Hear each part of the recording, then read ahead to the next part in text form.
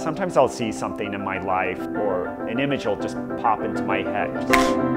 And that's a moment that I love. That's when I know I have to photograph it. I'm Kyle Froman and I'm a photographer.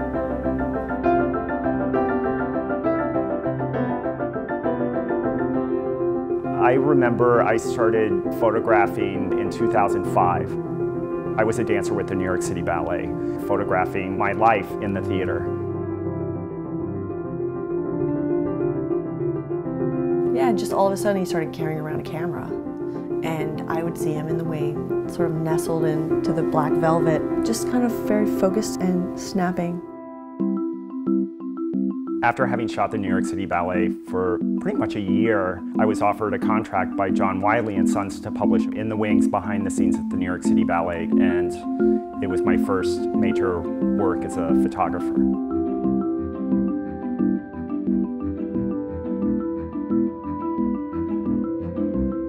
Of the first campaigns that I saw Kyle do was he did this great um, shoot with dancers at the New York City Ballet and he actually used the architecture to sort of create these really bold architectural images.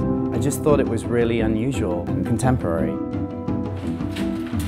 I think a, a really special quality is his warmth and humanity just alone puts a person at ease and his personality is so engaged and focused on that person, and always looking for something new.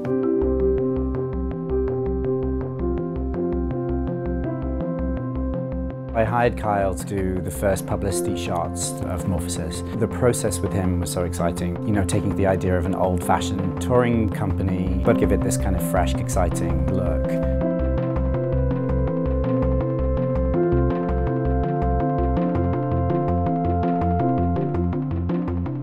Kyle and I met a few years ago. Kyle was hired as the photographer for the first national tour Flashdance on its world premiere.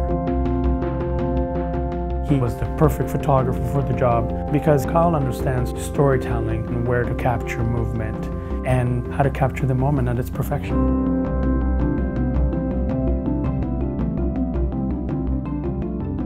I shoot dance, Broadway, and fashion, and I think this crossing of genres is what makes my work unique.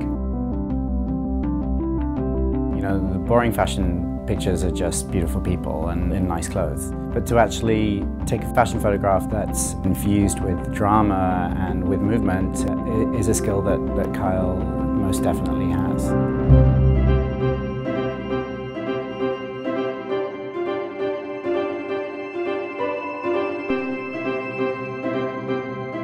I like when I can actually flesh out and really choreograph an image.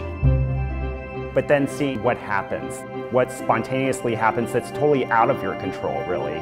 Because that's when, that's when you really start creating something.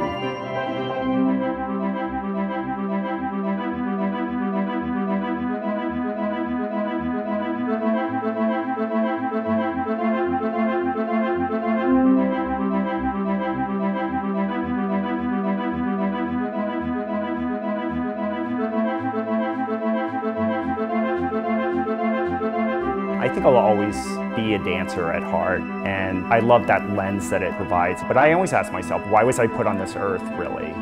And I always thought it was to dance, um, but now I feel like it's to be a photographer.